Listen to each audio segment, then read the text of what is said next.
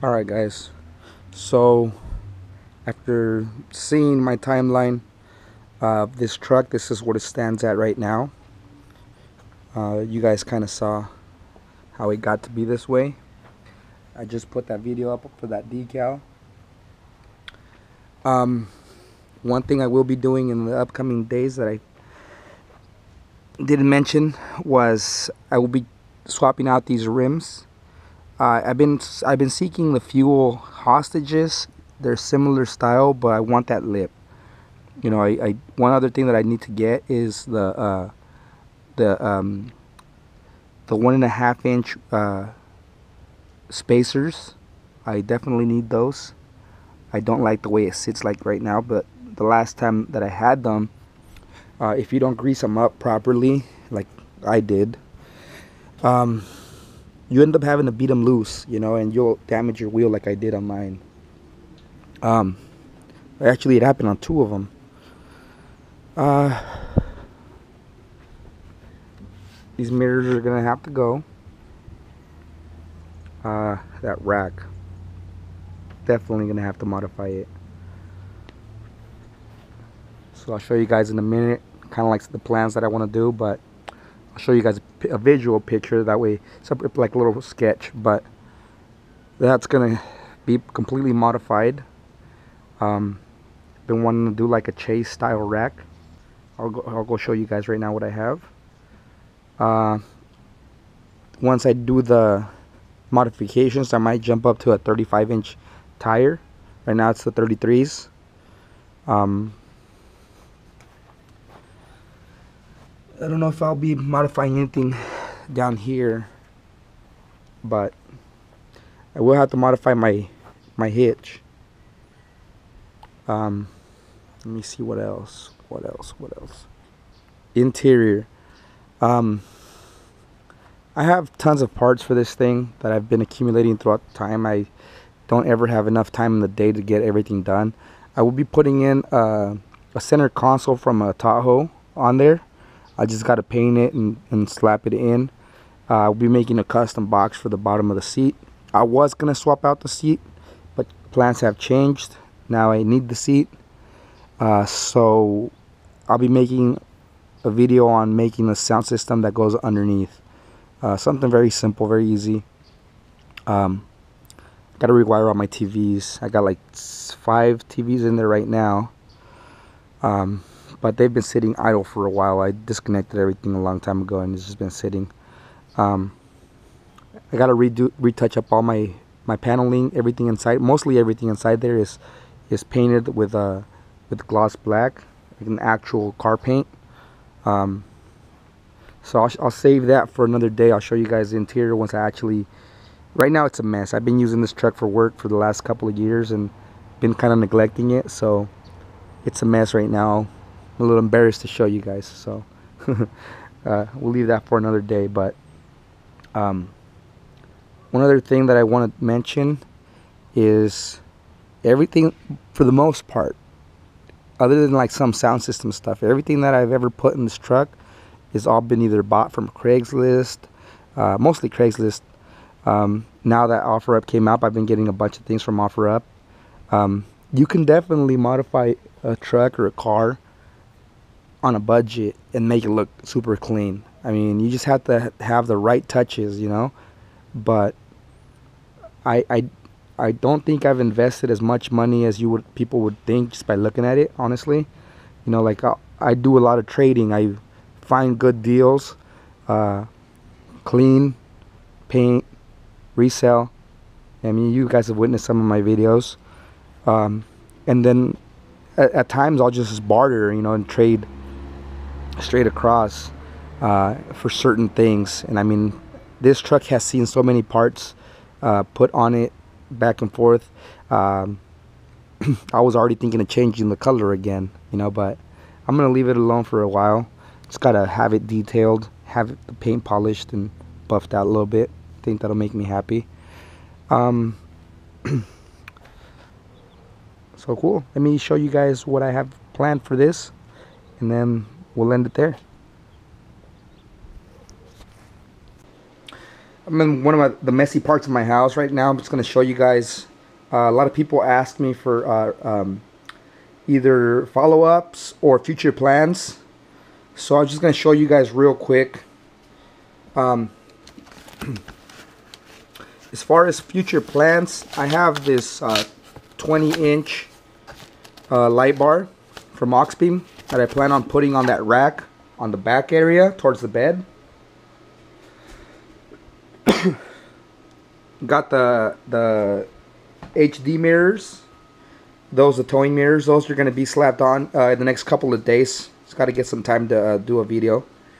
Um, I don't know. A lot of people be hating on those uh, those tow mirrors that I have, but I actually like those. I they I feel like they've they look sporty, you know, and that's why I kept them. I could have bought these things a long time ago and slapped them on, but I think that uh, now since I'm gonna end up getting it close to a 10 inch lift, uh, it'll look a lot nicer with these.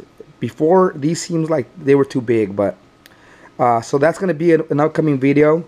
Also, I'm gonna show you guys how to uh, insert a turn signal in there, in between the in between the uh, the mirrors, and then wire them up to your turn signals. It's a little easy hack. Um, sorry, I got a mess over here. This is this is my the area that my wife allows me to keep all my junk and all my stuff that I pile up. You guys seen the video on how I put that thing together. Um, this here is a 52 inch uh, light bar, also from Auxbeam. Uh, this thing is sweet. I'm gonna slap this thing up in the front, right above my 50 inch curved. You guys notice anything? That one has three rows of LEDs. Can't wait to install that.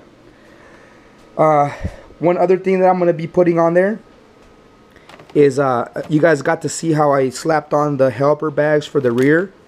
I never put the leaf springs. I did. I just put the um. What was it? I put the blocks, three inch blocks, to raise it into the seven inch uh, lift. However, I always use the bags to maneuver it up and down because I like to be able to, to, to make it look different. You know, I don't like to I, I never wanted it to just stay at one stance and then just live with it. I I like to lean it sometimes, and sometimes I like to make it level. And then if I put the bags at full uh, maximum uh, pressure, they actually rise up a little bit more towards the back. But usually when I'm towing, uh, one thing I've been keeping an eye out for, and I finally came across, is a compressor kit. I actually got two compressor kits, so that'll be an upcoming video. Uh, how to wire this up. I got this one. It's a single uh, single gauge, and I have one for dual gauge.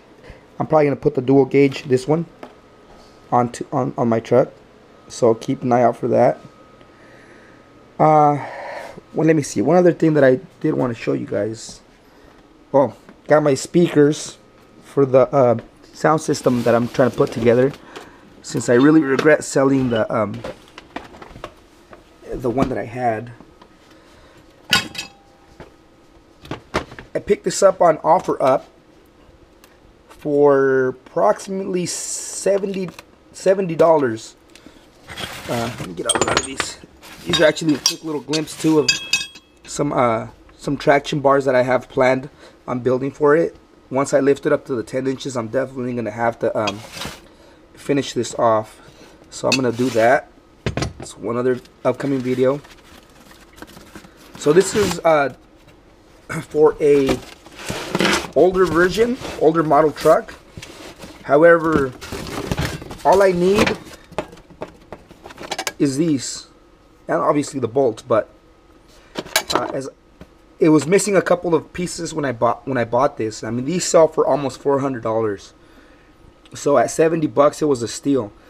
Uh, plus, um, as you guys can see, I've been making little off brackets that I feel like I'm gonna end up needing um, put a bunch of stuff together but but um, this right here is gonna work for me reason why is because I don't have a rear bumper which the brackets were that are for this is for a different style uh, bumper also it's missing the front brackets which I'm not gonna need because I will be um, not exactly sure when, but I will be modifying my bumper intensively or possibly even removing it completely and and modifying it kind of like a pre-runner style, but I want to have like a like a Frankenstein type, like like a heavy duty pre-runner style mix, you know. So I'm not gonna need those brackets. So all I need is these spacers. Uh, I just need to order one of the um, the steering wheel extensions. So once I have that, this will be a definitely uh, upcoming project. Uh, that should take my truck up to a 10 inch lift, which would make it a 7 inch Pro Comp lift with a 3 inch body lift. So that's another project that I have in the works. Um, got a bunch of stuff in here actually. I haven't even gotten into any videos for my bicycles. I, it's one of my other hobbies is I love love putting bikes together, um, modifying intensively. That one I'm working on right now, but that's just on the back burner for now. Uh, so yes, this is one of my messy bunch of new parts that I've been ordering. Um, so yeah, right now this is what I have for you guys. Let me show you guys a quick little, quick little idea, uh, kind of like a, a rough draft that I did. This is kind of what I want to make. I just made those brackets today, so that's what uh, what I want to do is I want to show you guys how easy it is to be able to make a rack like this uh, for very for very low price, very inexpensive. You, if you guys go back and see one of my other videos that I've made, uh, I've made a bunch of custom racks in the past. I never ever ever recorded any or took pictures. You know, I just never thought I'd be doing this. However, um, I've always been on the budget. You know, I've always built to try to increase profits. I've always done a bunch of things um, with what I have on hand. So I don't like to spend, you know, I would never spend a thousand dollars, two thousand dollars for a rack like this. You know, I would rather just build it. I picked that rack up. That's that ugly rusted rack that's on my truck. I picked that thing up for a hundred dollars on OfferUp. Uh, you can find them on Craigslist. Uh, I see them all the time for up to 250 for a decent one, but it doesn't really matter because I'm gonna have it powder coated once it's done.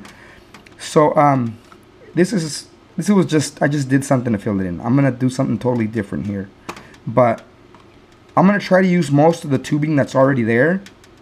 I'm gonna try to use, uh, if I'm not mistaken, I'm gonna need to pre-buy some bends, uh, or have a shop bend some for me because the uh, the pipe bender that I have is not going to be able to bend that one and three quarters. Um, not only that, I don't think I have the ability.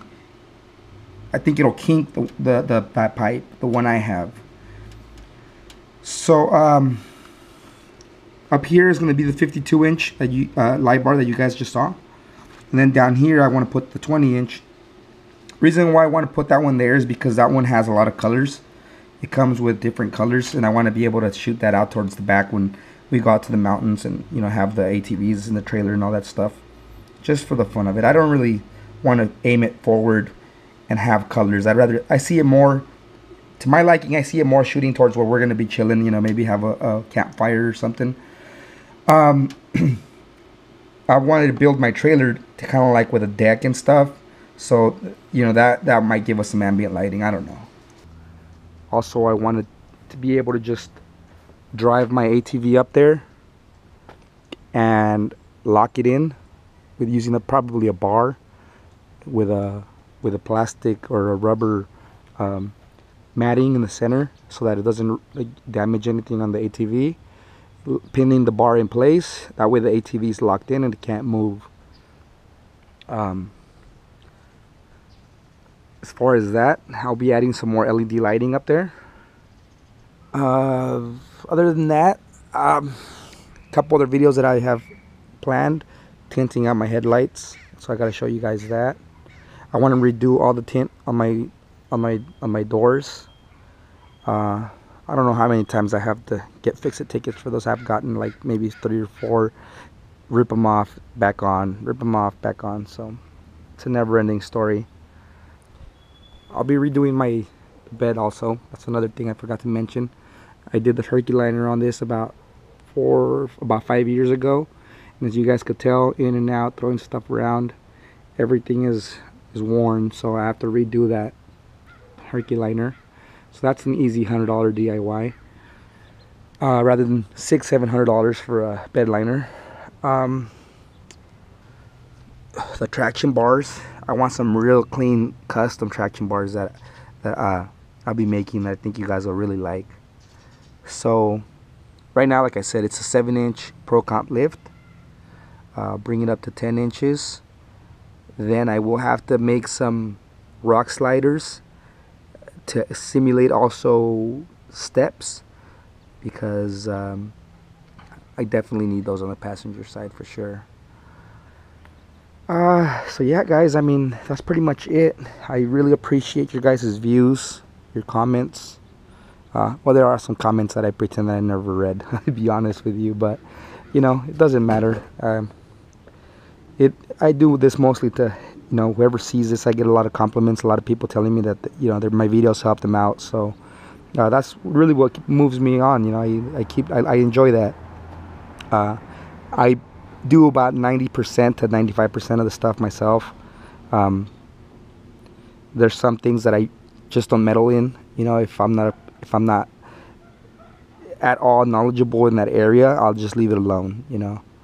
Um, I'll have somebody else do it. But for the most part, I enjoy this. So, you know, I'm glad that you guys have um, benefited from my channel. You know, I'm not that big yet, but, you know, I plan to. Um, now that I'm back to eight hours at work, it gives me a couple extra hours every day to be able to shoot videos or get my some of my projects rolling. Uh, been working pretty much about 10 hour days for the past two two and a half years. So, um, you know, takes a toll on you.